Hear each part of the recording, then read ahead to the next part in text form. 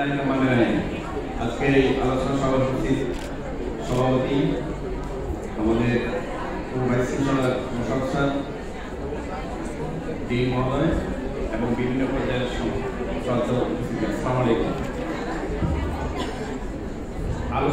অনেকবারই ফ্লোরেন্স কথা উঠে এসেছে এবং ওনার সম্বন্ধে আমরা সবাই কম বেশি জানি। আমি বেশি কথা বলতে চাচ্ছি না, বাট দু একটা কথা ওনার সম্পর্কে না বললেই নয়। যেগুলো আমরা সবাই জানি আধুনিক নার্সিং পেশার অগ্রদূত বা প্রতিকৃত হিসাবে যাকে বলা হয়েছে উনি আধুনিক নার্সিং পেশার অগ্রদূত এবং লেডি উইথ দ্য ল্যাম্প নামটা কীভাবে কখন তাকে উপাধি দেওয়া হয়েছে, এটাই সম্বন্ধে আমি দুইটা কথা বলতে চাই। প্রিমিয়ার যুদ্ধে ইংল্যান্ডে যখন কোনো একটা হাসপাতালে ওনার নেতৃত্বে পঁয়তাল্লিশ জন নার্স, একটা বিশেষ দায়িত্ব দায়িত্ব পালন করছিলেন, তখন কিন্তু খুবই খারাপ অবস্থা ছিল এবং যাদের চিকিৎসা সেবা দেওয়ার দায়িত্ব ওনাদেরকে দেওয়া হয়েছিল, মৃত্যুর হার ছিল তখন শতকরা চুয়াল্লিশ, কারণ যে হসপিটালে ওনারা দায়িত্বপ্রাপ্ত ছিল, যে ক্রিমিয়ান যুদ্ধে যুদ্ধাহতদের চিকিৎসার জন্য, সেখানে ওভারঅল পরিস্থিতি এত খারাপ ছিল যে রুগীর বিভিন্ন কারণ ছাড়া বিশেষ করে হসপিটালে যে পরিবেশ, সেই পরিবেশের কারণে রুগীরা ইনফেক্টেড হচ্ছিল এবং তার কারণে অনেকেই মারা যাচ্ছিল। ওনার নেতৃত্বে আলটিমেটলি হসপিটালের সার্বিক পরিস্থিতি, রান্নাঘর থেকে শুরু করে ওয়াল পর্যন্ত এবং করিডোর থেকে শুরু করে ডেড থেকে সার্বিক, এক কথা যদি আমি বলি, একটা হসপিটালের সার্বিক পরিস্থিতি বলতে যা বোঝায় পরিবেশের মধ্যে যা বোঝায় সার্বিক পরিস্থিতি এতই নাজুক ছিল যে নর্দমার পর্যায়ে কিন্তু নর্দমার সাথে সেটা তুলনীয় ছিল। সেই অবস্থান থেকে সার্বিক পরিস্থিতির অভূতপূর্ব উন্নয়নের মাধ্যমে সেখানে মৃত্যুহারকে উনি চুয়াল্লিশ থেকে চারে নিয়ে আসছেন। আরেকটা বিষয় ছিল হসপিটালে যখন রুগীরা ভর্তি ছিল গভীর রাতে করিডোরে বা বিভিন্ন জায়গায় যখন রুগীরা সেবার জন্য অপেক্ষা করতো, উনি একটা মোমবাতি হাতে প্রত্যেক রুগীর অবস্থা কিন্তু সশরীরে পর্যবেক্ষণ করতেন এবং তাদের সেবা দিতেন। সেই অবদানের কারণেই ওনাকে লেডি উইথ ল্যাম্প হিসাবে ঘোষিত করা হয়। আপনারা অনেক কষ্ট করেন এবং হসপিটালের সার্বিক পরিস্থিতি, পৃথিবীর, শুধু বাংলাদেশের না, পৃথিবীর যে কোনো হসপিটাল আমার একাধিক হসপিটাল দেখার সুযোগ হয়েছিল। রোগী হিসাবে আমি সিঙ্গাপুরে কোনো একটা হসপিটালে ছিলাম বেশ কিছুদিন এবং সিঙ্গাপুরের আরেকটা হসপিটাল সিঙ্গাপুর জেনারেল হসপিটালে আমি ট্রেনিং করার আমার সুযোগ হয়েছিল। এছাড়াও পৃথিবীর আরও একাধিক মনে করে একটা হসপিটালে আমি কর্মরত ছিলাম। কুয়েতের একটা কোম্পানি মেডিকেল হসপিটালে আমার চাকরি করার সুযোগ হয়েছিল।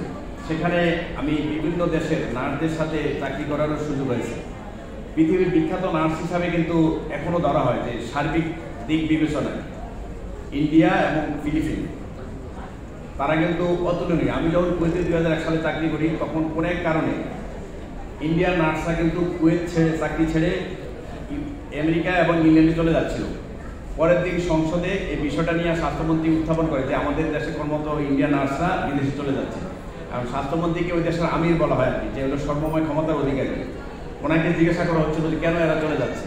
এবং উনি বলছিলেন যে they are getting more salary in comparison to Kuwait তখন বলছে যে কত টাকা দিলে ওরা থাকবে? ওরা ইংল্যান্ডে এবং আমেরিকায় যত টাকা পায়, তত টাকাই তাদেরকে দেওয়া হবে এবং তারা যেন অবশ্যই থাকে, তাদেরকে ছেড়ে অন্যত্র যেতে দেওয়া হবে এবং পরের দিনেই কিন্তু আমাদের বিএসএফের মতো ফাইল দীর্ঘদিন কিন্তু ঘোরাঘুরি করার প্রয়োজন হয় না। পরের দিনে ওই আদেশ হয়। সেই আদেশে তাদের বেতন বৃদ্ধি করা হয় এবং ওই দিনেই তাদেরকে ইংল্যান্ড এবং আমেরিকা যাওয়া থেকে প্রতিহত করা হয়। আপনারা কিন্তু, আমি যেটা বলতেছিলাম পৃথিবীর বিভিন্ন দেশে, সব, প্রত্যেকটা হসপিটালে কোনো দেশে ডাক্তার কিন্তু সর্বক্ষণিক থাকে না রুগীর পাশে। রুগীর পাশে আপনারাই থাকেন। এবং আপনাদের ব্যতীত রুগীর সেবা কল্পনাই করা যায় না। ডিসি স্যার যে একটা কথা বলছিল যে, সমস্যা হয় কোথায়?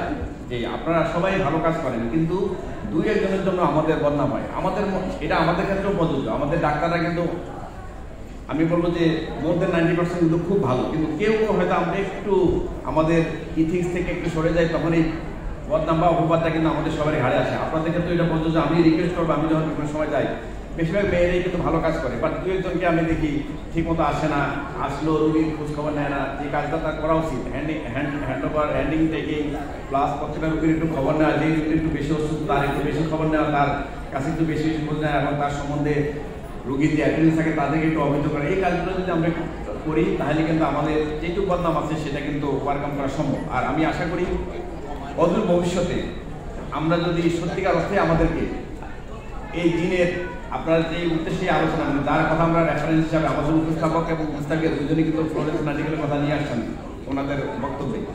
তো যা, যাকে ঘিরে এত কথা এবং যাকে আমরা একটা বিশেষ দিনে স্মরণ না করে, তার কাছ থেকে তার কথা আমরা সারা বছরই স্মরণ করব এবং তা ওনার কথাগুলো স্মরণে রেখে উনি যেভাবে সেবা দিয়েছেন, আমরা সেইভাবে না পারলেও আমরা যদি একটু চেষ্টা করি, অন্তত বর্তমান যে অবস্থা আছে, এই অবস্থা থেকে একটু ভালো অবস্থানে আমাদের সেবার মানকে নিয়ে যেতে পারবে, পারব, এই ব্যাপারে আমার কোনো সন্দেহ নেই। আমার বিশ্বাস, আপনারা এই আলোচনার মতো সীমাবদ্ধ না থেকে আজ- আজকে অন্তত এই প্রতি- প্রতিজ্ঞাবদ্ধ হবেন যে যখন যে দায়িত্বে থাকেন যতক্ষণ দায়িত্বে থাকেন সেই সময়ে যেখানে যে দায়িত্ব আপনাদেরকে দেওয়া হয় না কেন, আপনারা সুন্দরভাবে, আরও সুন্দরভাবে পালন করবেন এবং আমাদের তথা আমাদের এই পেশার মানকে আরও উন্নত করবেন আমাদের অন্যান্য প্রাইম মিনিস্টার কিন্তু আপনাদেরকে তৃতীয় শ্রেণি থেকে দ্বিতীয় শ্রেণি উন্নত করেছে এবং আপনারা যদি এটা এখন কিন্তু আপনারাই সিদ্ধান্ত নেবেন যে আপনারা প্রথম শ্রেণীতে যাবেন কি যাবেন না।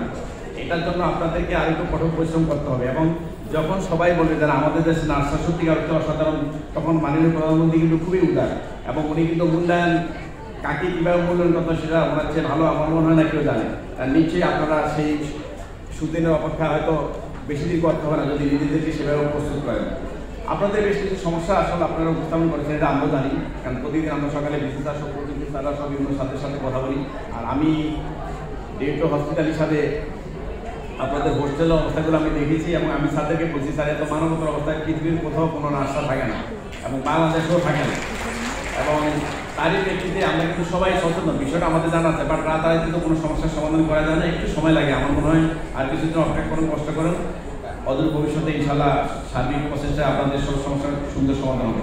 সবাই ভালো থাকুন, সুস্থ থাকুন এবং আমাদের আজকের দিনে যে শিক্ষায় শিক্ষা থেকে আমরা আমাদেরকে আরও গতিশীলভাবে আমাদের কার্যক্রমকে এবং সবাই যেন অন্তত আমাদের সুনাম নাম বলল বদনাম বলতে না পারে, সেইভাবে আমরা কাজ করব, এই ব্যক্ত করে আমার বক্তব্য শেষ করছি। আল্লাহ আসসালামু আলাইকুম।